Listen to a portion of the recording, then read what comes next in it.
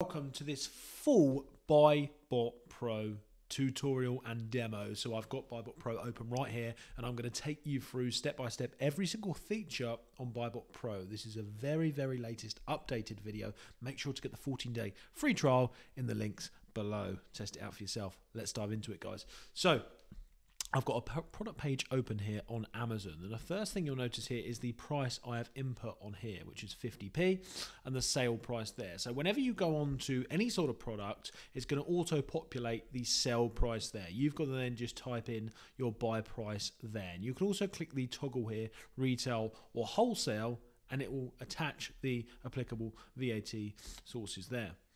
Next thing you'll notice is the island here. Once you've done that, once you've hit analyze, you're going to come up with the same uh, thing that you can see here on the island, which is the profit, ROI, BSR. You'll also notice the estimated sales here for this month and last month and the month after, which is pretty cool, guys. So you can see the 90 day average this is based on for the next few days, the next few months predicament, and the last few months and this month. You'll also see down here if you are eligible to sell this product. You'll also see if it's hazmat, and you'll also see if the IP radar has got any known issues, or if it has amber issues, which means there's been reported but no officially filed IPs. And then you've got any that have officially been filed, okay, which is definitely to avoid any that show in red. Down here, you'll then notice the BuyBot Pro confidence score, guys. So you can see the percentage here. So this is an AI tool that is actually inside BuyBot Pro, and it tells you the average profit, the eligibility, the Amazon selling uh, privilege, and uh, the Amazon selling um, example, if you can sell it or not. This AI tool will give you a good idea as to whether it thinks you should buy. So it's sort of like your little assistant by your side, if you like. Scrolling down on the page further, you see the storage fees bar here. So what we can do, this is a recent integration to the software, is scroll on, as you can see the number going up there, two, three, four, five. This is in month order.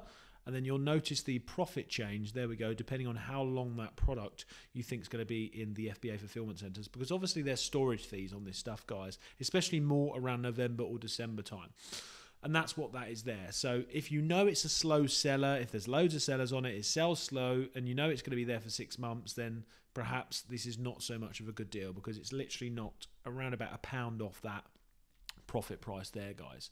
So that's yeah, good. Just something to take into account there. If it's a slow seller, you can use that toggle to see if it's even going to be profitable in a few months, guys. Let's look back over here, and the first thing you'll notice up here as well is also the settings bar here, guys. So I've got this attributed to my UK store and actually a non-VAT registered seller. I mean, I am VAT registered, but for the sake of the video, I thought I'd put it to non-VAT registered. You can type in whatever settings you want here. So you can click UK, depending on what account, uh, what country you're in. Any of these countries, BuyBot Pro works tax and VAT settings. You can do USA and Canadian, non VAT registered, standard accounting, flat scheme, depending on your, what your tax is. And if you're not sure, then be sure to chat to your accountant about that. Next thing you'll notice here, guys, is the ROI method. Now, this is very, uh, this depends on circumstances, okay? So, method one is generally the default. Method four is what most people use when they're VAT registered.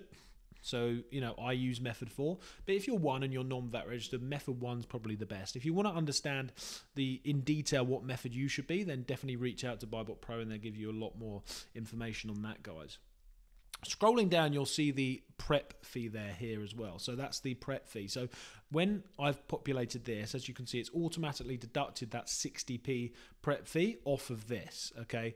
Now, Obviously, you don't have to put that in there. You know, if you've got your own warehouse and you want to just put like a bulk warehouse order, including fees and everything, you could do that. Okay, at the end of the month, with your uh, with all of your profit calculations. However, I think it's a good idea to put the prep fee in here so that when you're working out deals, you can get a good idea of how much profit you're left after the prep fees. You can also put the shipping cost here. So it depends how much it's going to cost you to ship boxes. So per kilogram in your box, if you know how much the box cost is along with the UPS cost, you can put that average in there. Okay, so I mean, some of our stuff, you know, it's probably going to be about let's say one pound fifty per kilogram to ship. Okay, that's including the box and the UPS fees if it's heavy stuff. And then you can click down, hit save on the settings and that will reflect once again on the BuyBot Pro island here, guys. So all of this stuff here, you can see whether it's retail or wholesale, grocery, is it 0% or 20%? You can toggle all this. And all of this data down here, guys, the extra fees here, MF shipping cost, all of this is going to reflect on the da- dashboard here to show you how much profit you've actually made okay on any product that you're analyzing guys. So you just hit save and sync once you've done all them settings. I'm not going to do it now because there's no need to. Um, and then reload the page click analyze and it's going to show you an updated version of this profit okay? So let's put that storage fee back there and you don't even have to click analyze. It's just going to automatically populate that back to the original profit guys you can also do the VAT override here. So let's say this is a 0% item. Then it, as you can see, it's automatically populated the profit there as well, guys, once again, quite easily. So that's pretty cool. And the MF settings that I showed you, the cost per MF, if you toggle that on or off, or you can add it there if you don't want to automatically have it in the background in the settings, um, then it will show you once again the profits change because you haven't entered anything MF price. But let's say it costs three pounds to ship this. Click analyze, it's going to deduct that as well, well, guys. So if you're doing MF, then you can just manually enter it just before you analyze, or you can do it in the settings behind the scenes to automatically get it to do it. You can also click that if it's pan European or if it's a bundle. And if it's a bundle, once again, it's going to auto populate the, the, the um, profit here depending on the settings bundle fee that you put. So it's just really easy rather than having to work it out yourself. Click bundle, whatever bundle fee it is, from the prep centre if they charge you a pound instead of 60p for example to do a bundle which is quite common you can click that hit analyze and it's automatically going to populate this with the profit from that bundle as well guys. So yeah pretty cool um, stuff there. It just streamlines the process you know? So yeah i'll definitely recommend trying out the 14 day free trial guys. Absolutely nothing to lose there Let's scroll down a little bit here, guys. As you can see, once again, it's just sort of going over the same data a little bit here that's on the island there. So you've got Meltable, the IP radar, then it's got some added stuff here. Is it oversize? Okay. Is it oversize? Buy box analysis. So once again, that's the AI tool here. Goes over that again. And then the variations, guys, it's actually got the variations down here. Um, so that tells you, is this a variation listing? Look, so variations are different product options that suit under one listing, okay? Bear in mind, this is an alert, having variations are not a negative thing, but it's something you need to be alerted or in order to make sure you are selling the correct product on the correct variation type. So that's letting you know that it's a variation listing. So if we check out the variation listing down here, it gives us more details of a variation listing, guys. Now, what is a variation listing? Um, just self-explanatory. It means that this product comes in many different sizes, okay? So this comes in black, blue, and white. So a lot of this data is actually showing is actually showing you from all these different variations. So you've got two, it's showing us how many sellers, the price for each variation, uh, and then um, the ASIN details here. So depending on what one you click into, it's going to show you different data. Okay, it's going to show you different data, um, but some of that data might overlap. So it's just good to know that it is a variation listing. If you need to click into a different color to see what sort of sales they're getting, then you click into that, and then that down here will be represented in this graph depending on what color you pick on that variation guys i hope that makes sense let me know in the comments if you've got any questions about that sort of stuff Scrolling down here, you can see the ASIN there, you can see the UPC, and you can simply hit copy there and it copies it straight away, which is really, really cool um, if you need to just quickly get some details copied. Um, it shows you the brand there, profit margin, max sold price, max buy price, break even, total costs, which I really like. I've always liked this feature. Hover over that and it tells you the exact fees that you're paying to Amazon, tells you the prep fees, just to give you a breakdown. You know, if you click on it and you think, oh, hold on a minute, that's quite a lot of you know it's quite a lot of um, um, uh, that's quite a lot of sale sort of you know cost of goods that's come off that why why is there not much profit in that then you can get a good breakdown here um, and what I also like about that feature there is just the fact that you can type in the quantity here. So let's say we've got an, uh, uh the potential to buy a hundred of these, and we're pretty certain it's going to do well. Click a hundred, click analyze, and you're probably thinking, why hasn't it worked out the profit for a hundred of them and put it here. Well, it doesn't put it there, guys. It puts it down here. You see? So you can see the profit times one and the profit times 100. So I really like this feature as well. It gives you a good idea of how much profit you're going to make when you sell a hundred of them rather than just one. Because let's be honest, who wants to sell one, guys? We're not in the business of selling one, are we? Generally, unless you're selling really unique, high-priced items. Generally, you're going to be selling a lot of them, so you can put 100 in there or whatever, however many you want to buy. Let's say 12, for example. Click analyze, and it's going to change that to 12. Show you 54 pounds 72 profit sitting there, so not too shabby, guys. Also, if you've got a discount code that you're going to use, say from Honey or something like that, when it pops up and you want to quickly go back and check how much profit you're now making, you can hit that discount there. So let's hit the discount there, and that will automatically increase or decrease if it's minus uh, your profit there. Now, obviously, most cases it's going to increase that, guys. So let's hit 15%. As you can see, it's changed it there and changed the ROI accordingly, rather than you having to figure out, you know how much is 5% off £10, for example. So that sort of thing. Obviously, we all know it's um, £9. No, I'm kidding. We all know it's £5. Um, so that's fine. But if, you, if you've got some more complicated ones, say if you're buying something for like four hundred and fifty-seven pound eighteen, you want to know what 15% of that is, just literally hit 15%. It's going to do it all automatically so you can check how much profit you're going to be making. Once again, it's got the uh, uh, AI tool thing here uh, FBM, FBA down here for the different analysis down here. You can also see in the different countries, guys, how much profit you can make in different countries if you're into pan European or selling in different countries. So that's pretty cool. You can actually put your sheet in there. You can paste your sheet in there, okay?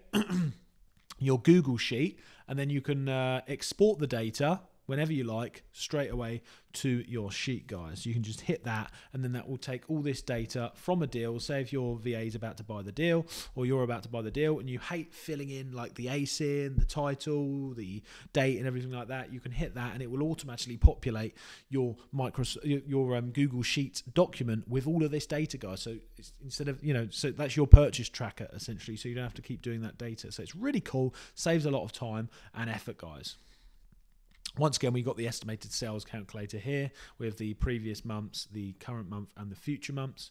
You can also see down here, guys, which is another one of my favorite features about this. Just a real quick shot here, guys, of the prime or all offers here. And that shows you if it, how many prime sellers or MF sellers are showing here. As you can see, it's Amazon there and then Amazon EU. So there's only two sellers on this listing.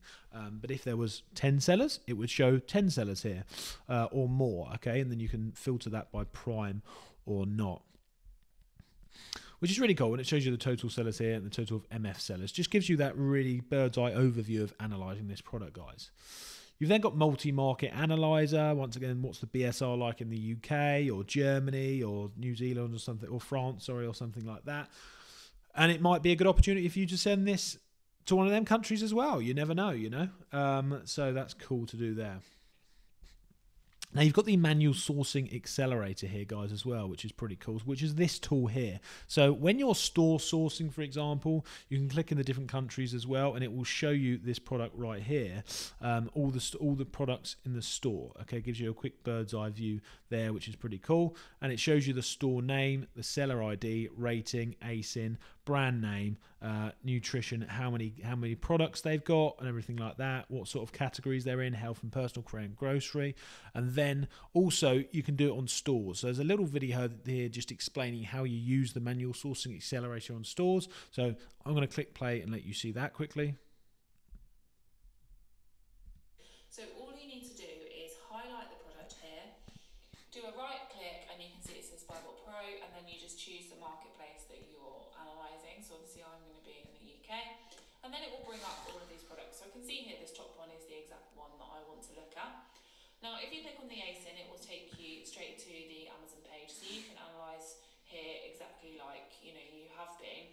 But with the manual accelerator, the great thing is that you don't even need to leave this retailer website. So click on the product name, it brings up the manual sourcing accelerator. So this works in exactly the same way that the main Buybot Pro panel works, but it is right there, like I said, on the web page. And you can do it straight here, then you can click on another product and you can do exactly the same thing again.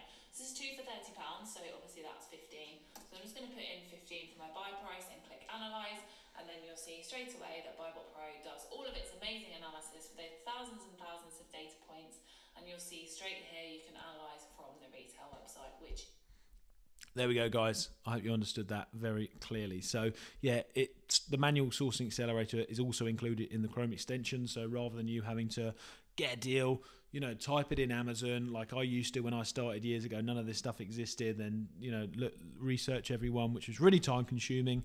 Populate my um, Google Sheets spreadsheet and everything manually. None of that exists anymore. You can just do it all really with ease with BuyBot Pros. That's really cool.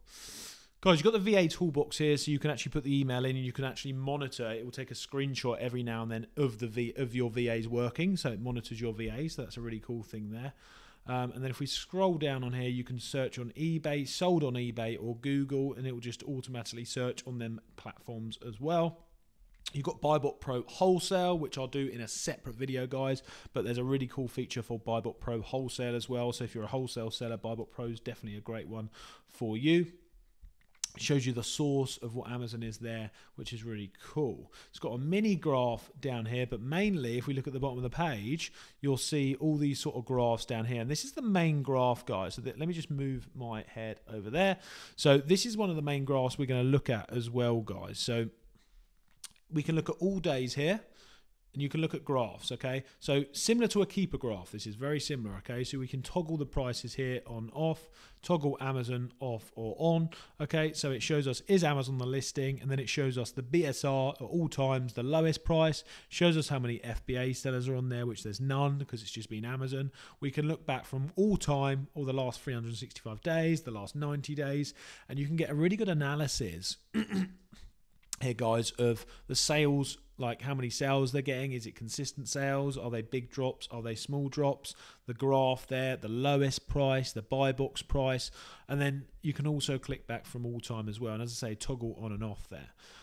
We can also look at the offer counts down here and we can also go for 365 days or all time just to see how many sellers are jumping on and off of this. So we can do our analysis guys We've also got the main and subcategory BSR as well. And we've also got all these graphs down here with the FBA price average, average price for Amazon, new price average, buy box price average, BSR average, and new offer count average. So straight away you get all these quick screenshots so you can have your step by step process just to know, you know, how well you want to analyze this deal, how quickly you can analyze this deal, just to know if you actually want to go into bother buying or selling this product, guys. So, guys and gals, make sure you check out the 14 day free trial below. It's a very reasonably priced tool after you've done that trial anyway. And I will see you in the next video. Make sure you subscribe. See you soon.